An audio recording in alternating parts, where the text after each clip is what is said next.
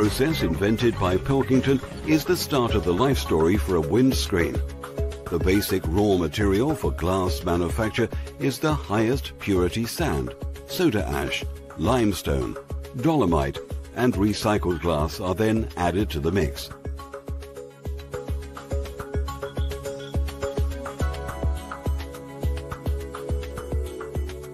The ingredients are loaded into a furnace where they are mixed and begin the melting process.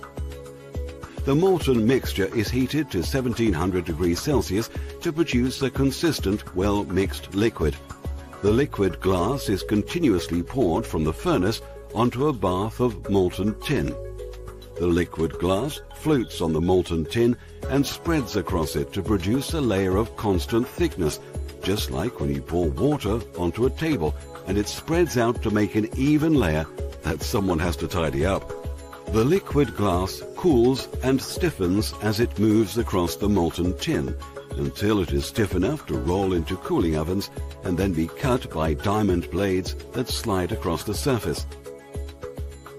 The glass is inspected for tiny defects and bubbles by a unique automated scanning process that rejects anything not meeting specification.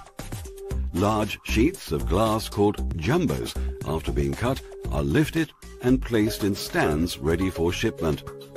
The stand of glass is moved from the production line to the shipping zone, where it's loaded into a dedicated vehicle that ensures the fragile glass reaches the customer in perfect shape.